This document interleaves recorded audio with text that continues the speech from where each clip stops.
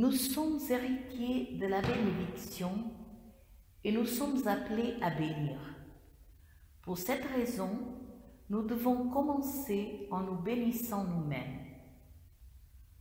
Avec les yeux de la foi, nous tenons la main de Jésus et, avec lui, main dans la main, nous faisons le signe de la croix sur nos fronts en disant Je bénis mon intelligence au nom du Père et du Fils et du Saint-Esprit. Amen. Nous faisons le signe de la croix sur nos yeux. Je bénis mes yeux au nom du Père, du Fils et du Saint-Esprit. Amen.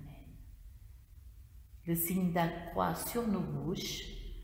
Je bénis ma bouche et ma langue au nom du Père et du Fils et du Saint-Esprit. Amen.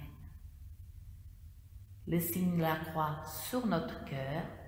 Je bénis mon cœur au nom du Père, du Fils et du Saint-Esprit.